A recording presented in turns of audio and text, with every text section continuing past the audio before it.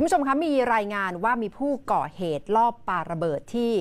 ทางอำเภอเมืองจังหวัดยะลา และขณะนี้กำลังต้องตรวจสอบนะคะไม่ไม่มีคนบาดเจ็บ แต่ว่าทางเจ้าหน้าที่ด้านความมั่นคง สั่งให้ตรวจตราเข้มในพื้นที่ 8อำเภอค่ะ ชุดเก็บกู้ทำลายระเบิดต้องใช้ความรอบคอบในการเข้าตรวจสอบหน้าร้านยาง บนถนนสิโรรสตำบลตะเตงอำเภอเมืองยะลา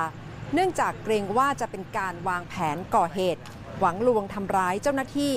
หรือจุดชนวนระเบิดลูกที่สองหลังถูกผู้ก่อเหตุปาระเบิดใส่บริเวณหน้าร้าน เมื่อช่วงค่ำที่ผ่านมา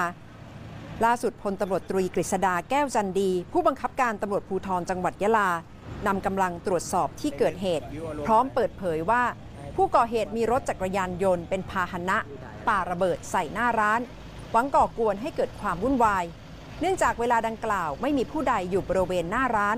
แรงระเบิดทำให้ประตูเหล็กเสียหายเพียงเล็กน้อย ขณะเดียวกันได้สั่งกำชับให้ตำรวจทุกด่าน เพิ่มความเข้มงวดในการตรวจสอบรถทุกคัน